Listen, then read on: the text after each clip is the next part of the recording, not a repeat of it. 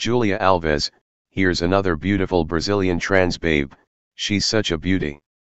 A very nice butt. What makes it nice, is the butterfly tattoo on it. She has other tattoos, but the butterfly is the best one. She is passable. Which is a plus to a lot of you out there. I'm putting her on my top 5 of hottest Brazilian trans women.